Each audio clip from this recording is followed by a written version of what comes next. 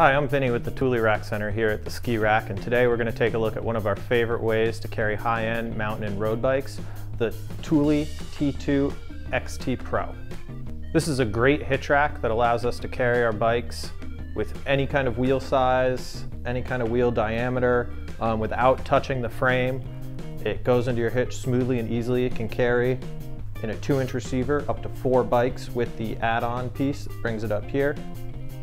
Um, it works simple, stores easily against the back of your car.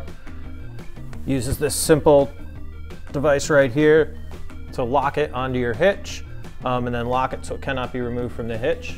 And then if you want to go ahead and put a bike on, just grab here, pull it down, you're ready to load your bikes like so. Putting a bike on your T2 is super simple. You just move your swing arm forward, undo your latches, Lift the bike into place, swing up, bring down till it's tight, then come on back here and put the rear wheel retention in. You're all set to go. If you would like to lock your bike to the rack, all we do is pull this up here, run a loop to your frame, and lock in place.